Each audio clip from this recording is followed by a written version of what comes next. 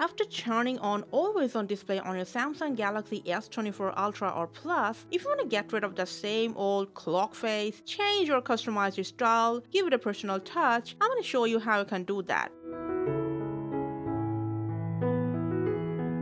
Now that's my current always on display clock face.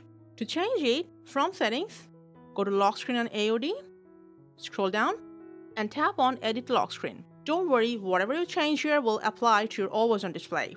Tap on the clock. From this list down below, you can change the clock style.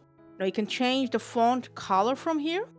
And after that, you can change the font from here in this list. If you don't like it, don't worry. Tap on this three dot menu and you can download fonts for your clock from this top list or from this new list. Let's download one from here. And don't forget to tap on show installed apps. It will show on your clock font list after downloading. Go back, tap on it, and you can select the font from here.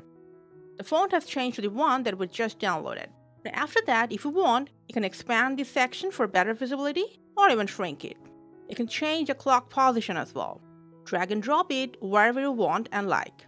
When you're done, just go ahead and press done. And as I've said, these changes will apply to your always on display. See, right there. So that's how you can change the clock face and customize it on your always on display from any Samsung S24 series phone. Thanks for watching.